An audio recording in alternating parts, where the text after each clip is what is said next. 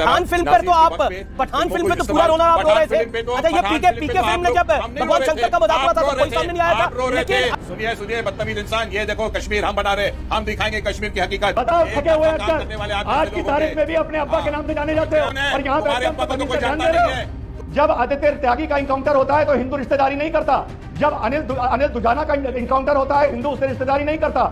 लेकिन जब असद का इंकाउंटर होता है तो वारिस पठान और ये शहजाद खान जो ये बिल्कुल पिक्चर के फ्लॉप एक्टर बैठे हैं ये उनसे रिश्तेदारी कर लेते हैं। हेलो दोस्तों आपका स्वागत है वायरल डिबेट शो के अंदर। दोस्तों आज हम जिस वीडियो पर रिएक्शन देने वाले वो होने वाले अमित देवगन के शो आर पार का।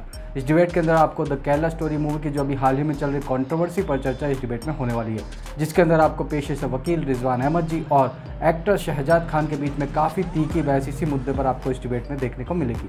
दोस्तों वीडियो बड़ा ही कमाल का होगा इसलिए वीडियो को एंड तक ज़रूर से देख के जाइएगा। चैनल पर नए चैनल को सब्सक्राइब और वीडियो को लाइक भी ज़रूर से करिएगा। चलिए वीडियो को शुरू करते हैं। जी। मैं मैं किसी का कोई ऐसे लोगों को मैं रिप्लाई नहीं करना चाहता हूँ जो डिबेट पे आके एक दूसरे को बदतमीजी तू तू तड़ाक से बात करे गौरव भाटिया ने कुछ तो भी हो सामान्य बात की, हमारे बीजेपी बड़े पढ़े लिखे नहीं मैं गौरव मैं गौरव भाटिया वो तो समाजवादी में थे ना कुछ टाइम पहले। मैं गौरव भाटिया की बात ही नहीं कर रहा हूँ मैं वो एक और आपके पैनलिस्ट है जो रेड शर्ट में बैठे हैं और जो हमारे दूसरे पैनलिस्ट को तू तड़ाक से बात करते बड़ा अफसोस हुआ मुझे देख के।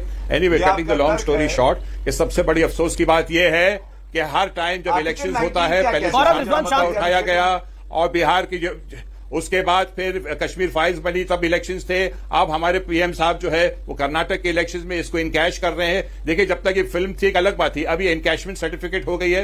ये बहुत अफसोस की बात है। और हमारे किसी पैनलिस्ट ने कहा कि बिल्कुल हिटलर की पठान फ़िल्म पर तो आप पठान फ़िल्म पे तो पूरा रोना आप रो रहे थे। तो- अच्छा ये पीके पीके फ़िल्म ने जब भगवान शंकर का मज़ाक उड़ा था तो कोई सामने नहीं आया था। लेकिन अगर ये फ़िल्म काल्पनिक भी है भगवा कलर पे आप कहा थे? आप कहा थे पीके फ़िल्म पे? सो रहे थे क्या आप? आप रो रहे थे। हमने हमने नहीं कुछ कहा। पठान के टाइम पे आप लोग अभी पठान छोड़िए। अभी आदि पुरुष आ रही है। उसका टीजर क्या रिलीज़ हुआ? आप लोग सब कूद पड़े। अरे क्या आप दोगलीपंथी की बातें करते हैं आप? आप जो है सच बताइए।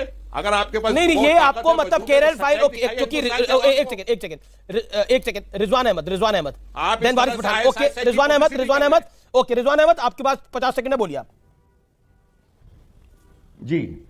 मुझे एक बात समझ में नहीं आती जो मैं बोल रहा था। एक तो बीच में किसी को बोलने मत देना भाई।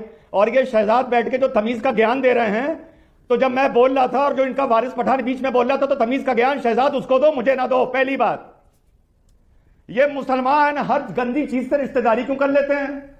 ये टेरर मॉड्यूल से रिश्तेदारी कर लेते हैं, ये असद अतीक से रिश्तेदारी कर लेते हैं। देश के गद्दारों को, गोली मारो सालों को तो ये देश के गद्दारों से रिश्तेदारी कर लेते हैं। कश्मीर फ़ाइल में ये कश्मीर के आतंकवादियों से रिश्तेदारी कर लेते हैं। जी। और दूसरी बात जो वारिस पठान ने बोला ये पिक्चर काल्पनिक है तो क्या कश्मीर फ़ाइल भी काल्पनिक थी क्या? दो कश्मीरी हिंदू मारे गए थे। पिक्चर में सिर्फ़ तीन तीन को मरते हुए दिखाया है तो क्या वो भी काल्पनिक थी क्या? और तीसरी बात और तीसरी बात जब आदित्य त्यागी का इनकाउंटर होता है तो हिंदू रिश्तेदारी नहीं करता। जब अनिल दु, अनिल दुजाना का इंकाउंटर होता है हिंदू उससे रिश्तेदारी नहीं करता। लेकिन जब असद का इंकाउंटर होता है तो वारिस पठान और ये शहजाद खान जो ये बिल्कुल पिक्चर के फ्लॉप एक्टर बैठे हैं ये उनसे रिश्तेदारी कर लेते हैं। और तमीज और तमीज हमको सिखा रहे हैं बात करने की। कश्मीर। सुनिए सुनिए बदतमीज इंसान ये देखो कश्मीर हम बना रहे हम दिखाएँगे कश्मीर की हकीकत। ये देखिए कश्मीर फ़िल्म हमारी अरे तीन सौ हिंदू मरा था या नहीं मरा था? तू ये बता। दिखाएँगे कश्मीर की हकीकत तीन सौ हिंदू मरा था या नहीं मरा था? ये बताओ। अरे, तीन हाँ, सौ हिंदू मरा था या नहीं मरा था? ये बताओ।